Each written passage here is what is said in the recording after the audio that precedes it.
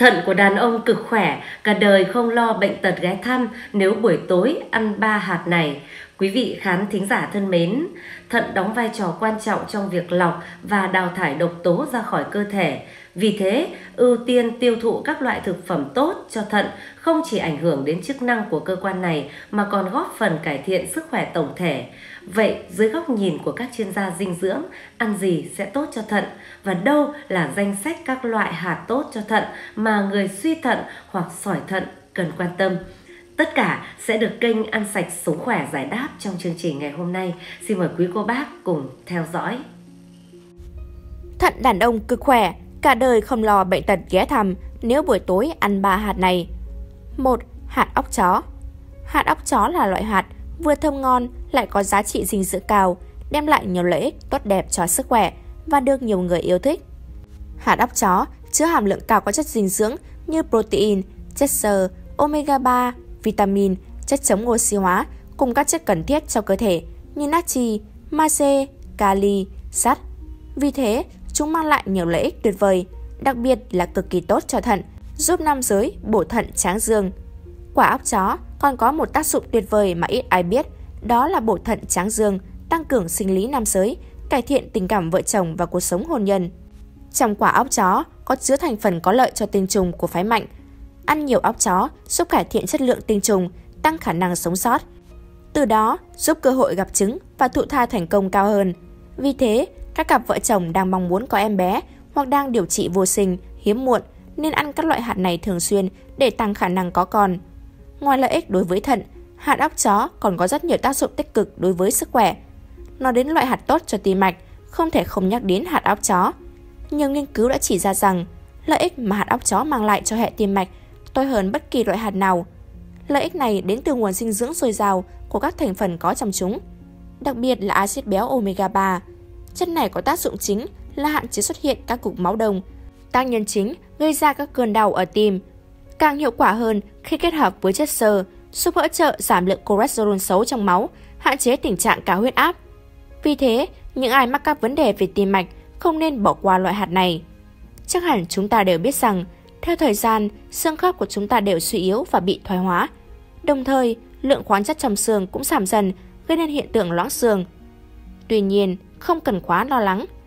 Các dưỡng chất có trong hạt óc chó có tác dụng giúp xương chắc khỏe, kể cả khi cô bác không còn trẻ. Vì thế, hãy ăn quả óc chó thường xuyên để có một hệ xương khớp khỏe mạnh. Ăn nhiều hạt óc chó còn giúp hạn chế các nguy cơ mắc bệnh sỏi mật.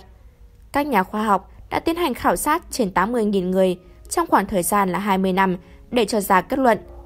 Thế nên, nếu không muốn mình mắc phải bệnh sỏi mật, hãy ăn quả óc chó mỗi ngày, cô bác nhé. Trong cơ thể chúng ta có một chất gọi là melatonin. Hoạt chất này giúp cô bác có một giấc ngủ ngon. Tuy nhiên, vì một số nguyên nhân mà việc sản xuất gặp vấn đề, không thể sản xuất đủ melatonin để cung cấp cho cơ thể, khiến cô bác khó ngủ, ngủ không sâu giấc hoặc thậm chí là mất ngủ. Thành phần trong quả óc chó giúp kích thích quá trình sản xuất melatonin một cách hiệu quả, giúp cô bác có một giấc ngủ trọn vẹn. Nhiều nghiên cứu đã chỉ ra rằng hạt óc chó giúp kiểm soát lượng đường trong máu thông qua việc cải thiện nồng độ insulin trong cơ thể. Từ đó, giúp việc điều trị tiểu đường trở nên hiệu quả hơn. Vậy nên, nếu cô bác mắc phải bệnh tiểu đường, đừng quên bổ sung quả óc chó mỗi ngày nhé. Trong quả óc chó có chứa các chất như axit béo thực vật, omega 3 và axit alpha linoleic. Các nhà khoa học nghiên cứu đã chỉ ra rằng khi ba chất này kết hợp lại với nhau sẽ có tác dụng ức chế sự phát triển và lây lan của các tế bào ung thư. Điều này có tác dụng tốt đối với các bệnh nhân ung thư và cả những người muốn phòng ngừa căn bệnh nguy hiểm này. 2. Hạt mè Mè đen được biết đến với cái tên thông dụng hơn là vừng đen, thực phẩm không hề xa lạ với hầu hết sàn bếp Việt. Không chỉ là thực phẩm thơm bùi, mè đen còn sở hữu nhiều công dụng tốt cho sức khỏe.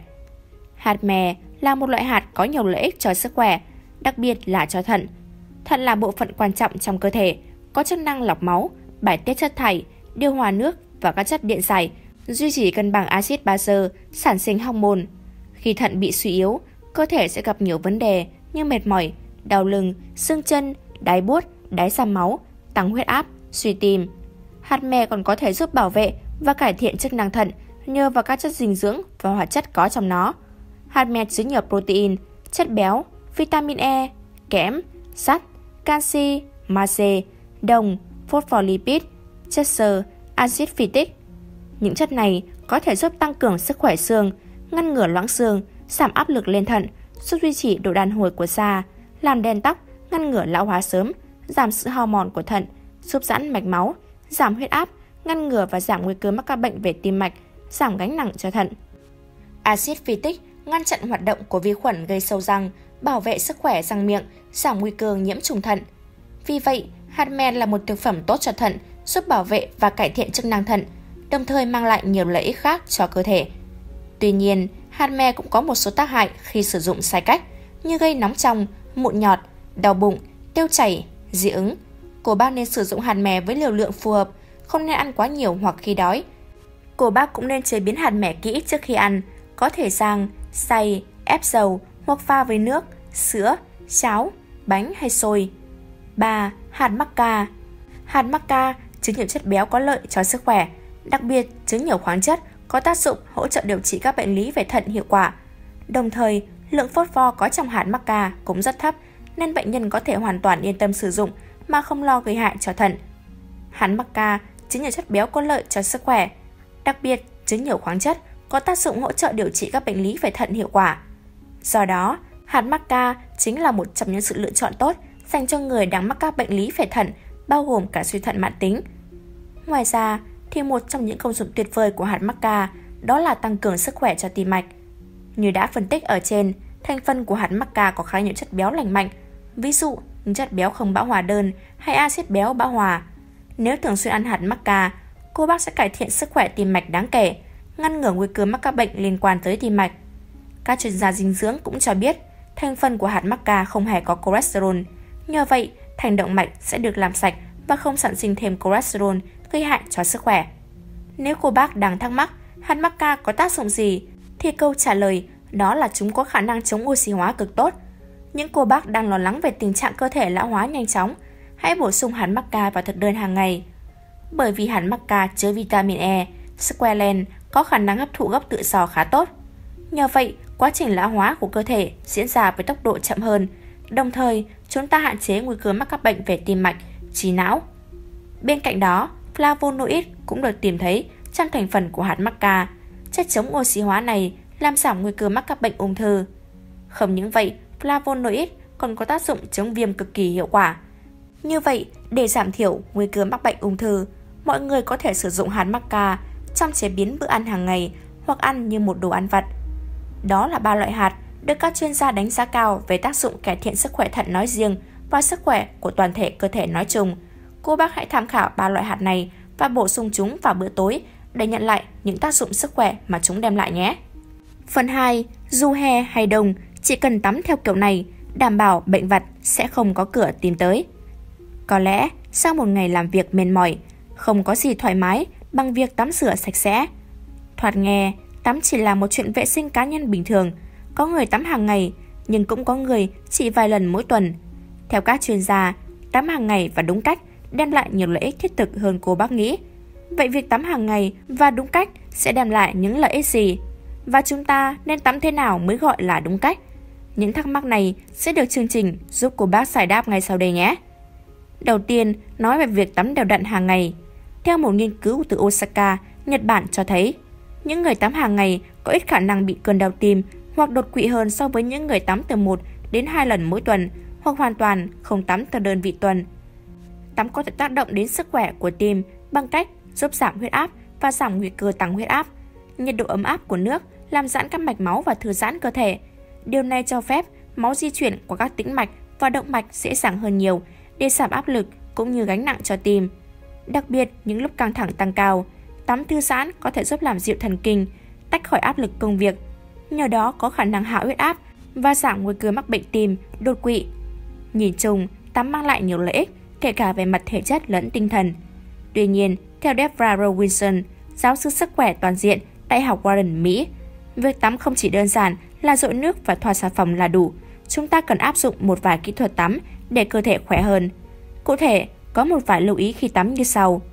Tắm vào mùa hè nên dùng nước lạnh trà sát cơ thể theo chuyển động tròn. Việc tắm nước lạnh vào mùa hè thật sự rất tốt cho sức khỏe. Đầu tiên, nước lạnh giúp làm giảm nhiệt độ cơ thể ngay lập tức, làm mát làn da và giảm cảm giác nóng bức trong thời tiết oi ả. Việc này không chỉ mang lại sự thoải mái ngay tại thời điểm tắm mà còn tạo ra cảm giác sảng khoái kéo dài sau đó. Tiếp theo đó, nước lạnh còn kích thích tuần hoàn máu, giúp máu lưu thông tốt hơn. Điều này sẽ giúp giảm căng thẳng và mệt mỏi, đồng thời cung cấp năng lượng cho cơ bắp, tăng cường sức mạnh vận động. Đặc biệt, tắm nước lạnh có thể giúp làm giảm sưng nếu cô bác đang gặp vấn đề về viêm nhiễm hoặc đau nhức cơ. Ngoài ra, khi cô bác tắm, hãy trần sát da theo chuyển động tròn. Các chuyên gia cho hay, việc này vừa giúp lấy đi những bụi bẩn sâu dưới lỗ chân lông, vừa tăng cường quá trình trao đổi chất và tăng sức khỏe đường ruột. Vậy nên, hãy thử áp dụng ngay phương pháp này để tăng thể trạng khỏe mạnh hơn. Tắm vào mùa đông, dùng nước ấm, xoa bóp nhẹ cơ thể với xà phòng. Trước hết, nước ấm giúp làm giảm sự căng thẳng và mệt mỏi sau một ngày làm việc trong thời tiết lạnh giá. Sự ấm áp từ nước nóng sẽ làm thư giãn cơ bắp và giảm áp lực lên xương khớp, đồng thời kích thích tuần hoàn máu, cung cấp nhiều dẫn chất hơn đến các khu vực cần thiết của cơ thể. Đặc biệt hơn, nước ấm giúp mở lỗ chân lông, làm sạch bã nhờn và tế bào chết, giúp da trở nên mềm mại, mịn màng hơn. Điều này giúp ngăn chặn tình trạng da khô và ngứa, một vấn đề thường gặp trong mùa đông. Tuy nhiên, cô bác không nên tắm nước quá nóng, kẹo làm khô da và phản tác dụng.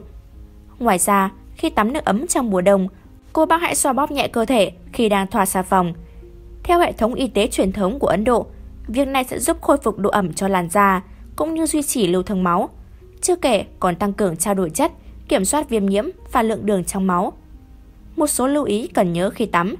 Tắm với nước nóng hoặc lạnh là một quá trình trị liệu tự nhiên. Tắm giúp mở các lỗ chân lông, loại bỏ độc tố và đem lại làn da mịn màng, mềm mại. Tắm với nước mặn thậm chí còn có thể làm giảm tình trạng lão hóa của da. Bên cạnh đó, có một số lưu ý quan trọng khi tắm để đảm bảo rằng việc này không gây hại cho sức khỏe của cô bác. Không sử dụng nước quá nóng. Tắm nước nóng ở nhiệt độ quá cao hoặc quá thường xuyên lâu ngày sẽ khiến da trở nên khô hơn và thậm chí có thể gây kích ứng da với những người có làn da nhạy cảm. Nhiệt độ cao có thể phá vỡ các tế bào dưới da, từ đó ngăn chặn các tế bào này giữ độ ẩm và làm cho da trở nên bị khô. Khi tắm nước quá nóng và trong một thời gian dài, trên 15 phút, sẽ khiến cho các mao mạch trên da được giãn nở hết cỡ, gây nên tình trạng thiếu oxy cung cấp cho tim, có thể làm tăng huyết áp, ảnh hưởng nghiêm trọng đến sức khỏe lâu dài. Không tắm quá lâu, thời gian lý tưởng cho việc làm sạch cơ thể mỗi ngày là khoảng 10 phút. Bởi nếu tắm quá lâu, có thể làm ảnh hưởng đến độ pH tự nhiên trên da, gây ra một số bệnh về da. Thậm chí, có thể gây ra tình trạng cảm cúm, nhiễm lạnh, làm ảnh hưởng đến sức khỏe và công việc. Không nên tắm, gội ngay sau khi ăn. Đây là điều cấm kỵ mà các cô bác không nên làm để bảo vệ sức khỏe tốt hơn. Bởi sau khi ăn, dạ dày và ruột hoạt động rất mạnh, lượng máu được tập trung ở những cơ quan này sẽ nhiều nhất.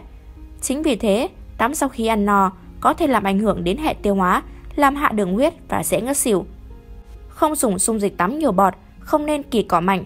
Khi dùng các loại bông tắm có nhiều bọt trong thời gian dài, cùng với việc kỳ cọ quá mạnh, sẽ làm mất đi lớp dầu và lớp biểu bì tự nhiên giúp bảo vệ da.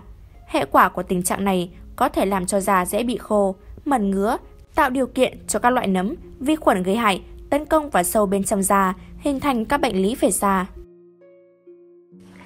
Quý cô bác thân mến, với những thông tin vô cùng hữu ích về ba loại hạt tốt cho sức khỏe của thận và những lưu ý về việc tắm đúng cách, hy vọng rằng sẽ giúp cô bác bảo vệ được sức khỏe của bản thân.